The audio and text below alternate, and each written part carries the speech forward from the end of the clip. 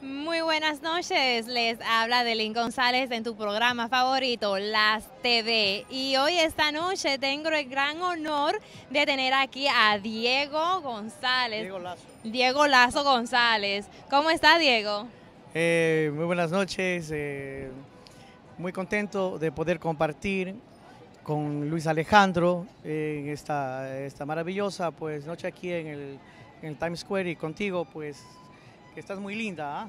Gracias, gracias. Eh, Dime qué es lo que más te ha gustado aquí de Nueva York en tu visita de hoy.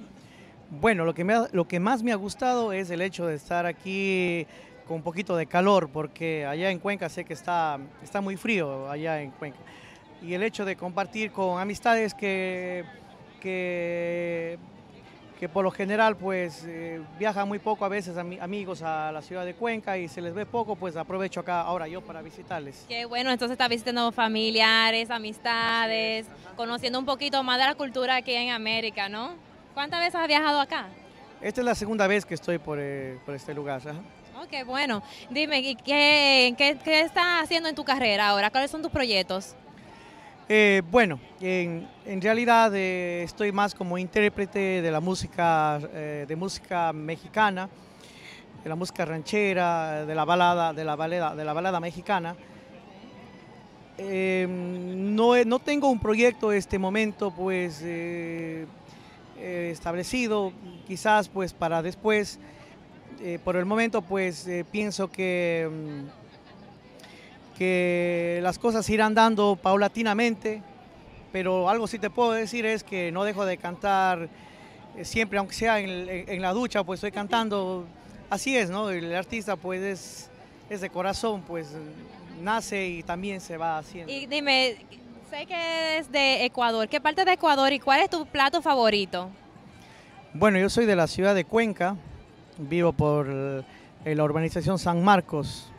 ¿Y cuál es tu plato favorito? Mi plato favorito, eh, los camarones, el arroz, el, el- el arroz con camarón, los mariscos, piensa, en general. Sí, sí, sí. Me encantan los mariscos, tienen buen gusto.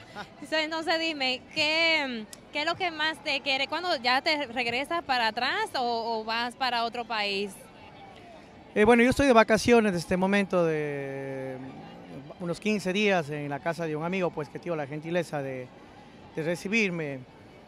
Un amigo de, de todos los, de, de toda la vida, de toda la vida, pues y valga la oportunidad también para mencionarle en este en esta entrevista, Iván González, eh, gracias, gracias Iván por tu amistad de toda la vida, de muchos años que, que tenemos y que esa amistad perdure para, Para siempre, siempre, para siempre, para que Iván. sea eterna, Iván, siempre. gracias, Iván.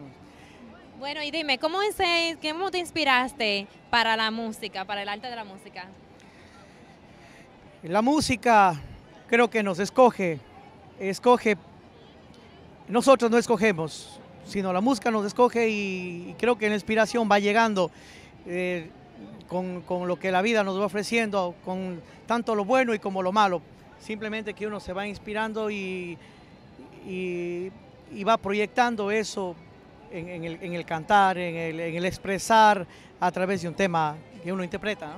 Sé que tiene un hijo y está inspirado por ti. Dime un poquito de eso.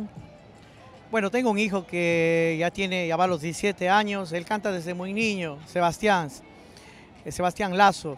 Incluso grabamos un disco, eh, Dejando Huellas, eh, número 2, en donde él interpreta temas como solista y también lo hacemos a, lo hacemos a dúo. Creo que una de las canciones eh, que me gusta mucho escuchar, que canto con él, son los temas de Dil Divo que interpretamos como... eh, um, regresa a mí. Para ti es un orgullo de cantar con tu hijo, ¿no? Porque es algo como que, como dices tú, como se se llama la canción, dejando huellas, ¿no? Está dejando Sí. ahí esta iniciativa, ese, ese, bueno, ese, ese fueguito ahí para tu hijo y para la familia, para que siga creciendo el amor para el arte de la música, ¿no?